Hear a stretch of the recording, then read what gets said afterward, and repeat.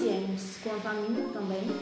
Nós estamos aqui todas as terças na cidade de Volta Redonda, na clínica Bichos e Caprichos, atendendo os meus pacientes de Volta Redonda, Barra Mansa, Pinheiral, Arrozal e Redondezas, ok?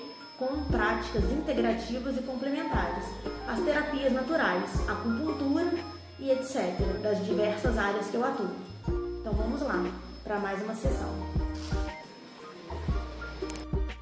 Desordens comportamentais, desordens neurológicas, pós-sinomose, por exemplo, laser terapia, desordens motoras e neuromotoras, técnicas como mocha-bustão, eletroacupuntura, entre outras várias técnicas associadas à acupuntura, à medicina tradicional chinesa, florais de Bach, fitoterapia, laser, neurologia e acupuntura e diversas práticas integrativas complementares e naturais para atender muito bem ao seu pet.